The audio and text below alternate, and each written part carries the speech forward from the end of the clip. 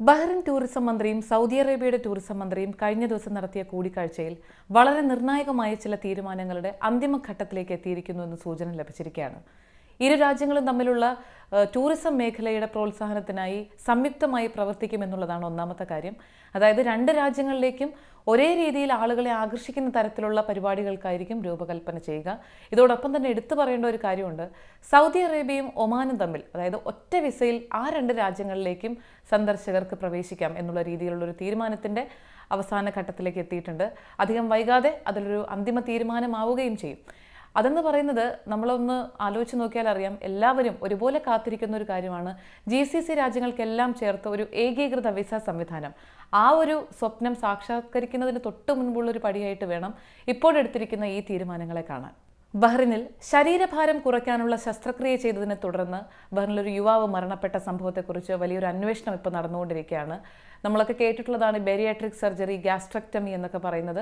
വിദേശ രാജ്യങ്ങൾ ഉൾപ്പെടെ പലയിടങ്ങളിലും വിജയകരമായി ചെയ്യുന്ന ഒരു പ്രൊസീജിയറാണത് അപ്പോൾ എന്തുകൊണ്ട് ഈ ഒരു ശസ്ത്രക്രിയയെ തുടർന്ന് മരണം സംഭവിച്ചു എന്നുള്ളതിനെ കുറിച്ചാണ് അന്വേഷണം നടക്കുന്നത്. ആശുപത്രിയുടെ ഭാഗത്തു നിന്നുണ്ടായി എന്തെങ്കിലും പ്രശ്നമാണോ?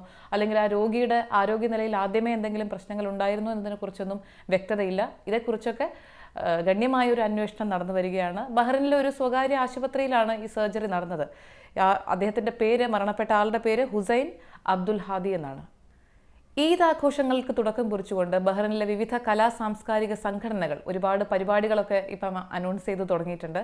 കെ പി എ കൊല്ലം പ്രവാസി അസോസിയേഷൻ ഒരു ഒപ്പന മത്സരമാണ് ഇപ്പോൾ അനൗൺസ് ചെയ്തിരിക്കുന്നത്. ജൂലൈ ഒന്നാം തീയതിയാണ് മത്സരം നടക്കുക. വിജയികൾക്ക് ആകർഷകമായ സമ്മാനങ്ങളും ഓഫർ ചെയ്തിട്ടുണ്ട്. താല്പര്യമുള്ളവർ ഈ മാസം ഇരുപതാം തീയതിക്ക് മുൻപായി രജിസ്റ്റർ ചെയ്യണം. Contact number three nine zero four three nine one zero മുപ്പത്തി ഒൻപത് പൂജ്യം നാല് മുപ്പത്തി ഒൻപത് ഒന്ന് പൂജ്യം.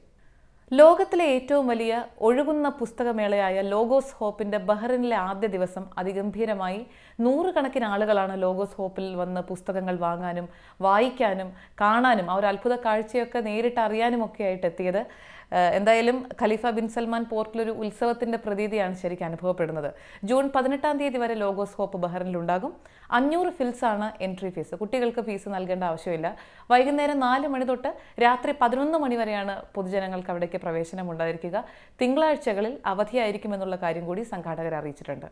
കൾച്ചറൽ ഗാല രണ്ടായിരത്തി ഇരുപത്തി മൂന്ന് എന്നുള്ള വലിയൊരു പരിപാടിയെക്കുറിച്ച് നമ്മൾ മുൻപ് തന്നെ പറഞ്ഞിരുന്നതാണ്. കലാ സാംസ്കാരിക ഭക്ഷ്യമേളയാണ് കൾച്ചറൽ ഗാല രണ്ടായിരത്തി ഇരുപത്തി മൂന്ന് ബഹ്റിനിലെ വളരെ പ്രശസ്തമായ സംഘടനകളായ വിമൻ അക്രോസും ബഹ്റിൻ ഫുഡ് ലവേഴ്സും സംയുക്തമായി നടത്തുന്ന ഒരു വലിയ പരിപാടിയാണിത്. ഇൻഡോ അറബ് ഭക്ഷ്യമേള തന്നെയാണ് അതിൽ ഏറ്റവും വലിയ ആകർഷകമായൊരു ഘടകം. നാളെ ജൂൺ ഒൻപതാം തീയതി വെള്ളിയാഴ്ചയാണ് പരിപാടിക്ക് തുടക്കമാവുക. ഇന്ത്യൻ ക്ലബിൽ വെച്ചാണ് പരിപാടി നടക്കുന്നത്. ഉച്ചയ്ക്ക് രണ്ട് മണിക്ക് പരിപാടികൾക്ക് തുടക്കമാകും. രാത്രി പതിനൊന്ന് മണിവരെ ഈ പരിപാടിയുമായി ബന്ധപ്പെട്ട് എന്തെങ്കിലും വിവരങ്ങൾ അറിയാൻ താല്പര്യമുള്ളവർക്ക് ഇനി പറയുന്ന നമ്പറിൽ കോൺടാക്ട് ചെയ്യാം. Double three two seven two four two zero. മൂന്ന് മൂന്ന് രണ്ട് ഏഴ് രണ്ട് നാല് രണ്ട് പൂജ്യം.